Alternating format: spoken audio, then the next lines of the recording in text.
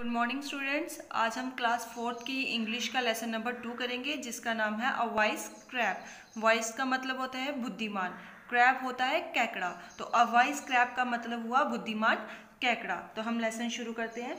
Once upon a time there lived a stork by the side of a pond pond बोलती हैं तालाब को, और स्टॉक होता है सारस। ठीक है? तो एक समय की बात थी, एक तालाब के किनारे एक सारस रहता था। There were plenty of fish in the pond and the stork had enough to eat वहाँ उस तालाब में बहुत सारी मछलियाँ थी, और वो उस सारस के खाने के लिए काफ़ी थी।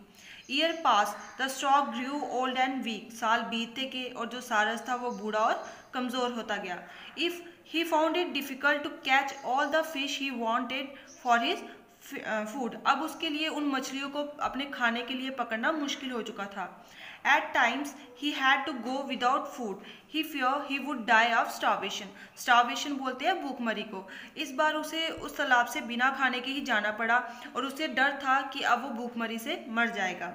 The stork thought of a plan अब उस सारस ने एक प्लान के बारे में सोचा। He stood by the side of the pond looking sad वो उस तालाब के किनारे पे दुखी होकर खड़ा हो गया।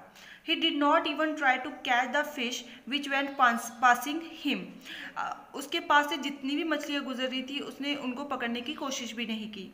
The fish frogs and the crab in the pond noticed how sad the stork looked and wonder what had happened to him वहाँ जितनी भी मछलियाँ frogs और crabs थे वो सभी उसको नोटिस कर रहे थे और सोच रहे थे कि ये इसके साथ आखिर ऐसा क्या हुआ है कि ये इतना दुखी है अब big crab went up to him and asked, Why do you look so sad why are you not taking your food अब एक बड़ा सा कैकड़ा उसके पास आया और उसने उसको बोला कि तुम इतने दुखी क्यों दिख रहे हो? तुम अपना खाना क्यों नहीं ले रहे?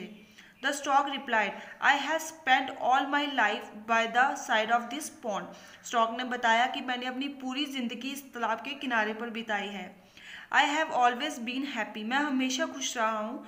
Now things are going to change. All the fish in the pond will soon die and I shall be left without food. अब अब समय, अब जो टाइम है वो चेंज हो रहा है। जितनी भी इस पॉन्ड में, इस तालाब में मछलियाँ हैं, वो जल्द ही मरने वाली हैं and I shall be left without food और मैं बिना खाने के रहने वाला हूँ। बच्चों, आज हम ये लेसन यहीं तक पढ़ेंगे। बाकी हम आपको आगे पढ़ाएँगे। Thank you